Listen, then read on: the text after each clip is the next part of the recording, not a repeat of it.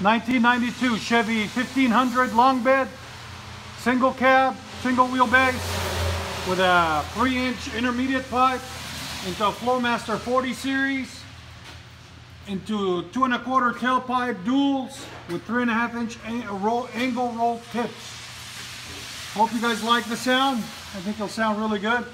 Again, it's a 1992 Chevy 1500, uh, single wheelbase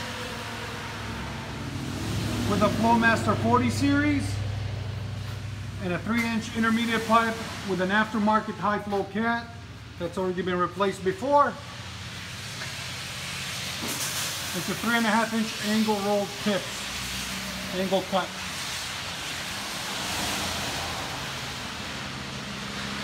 There she is.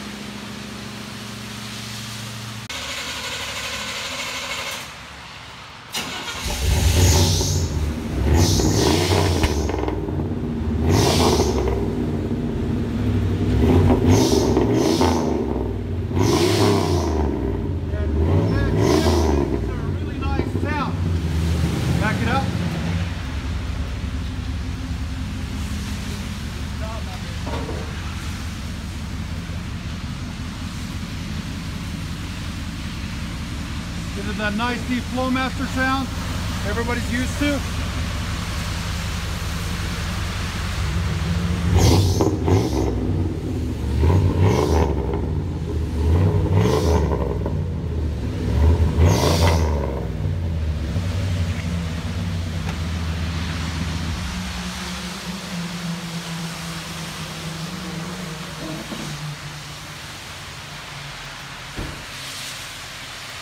Fifteen hundred Chevy truck.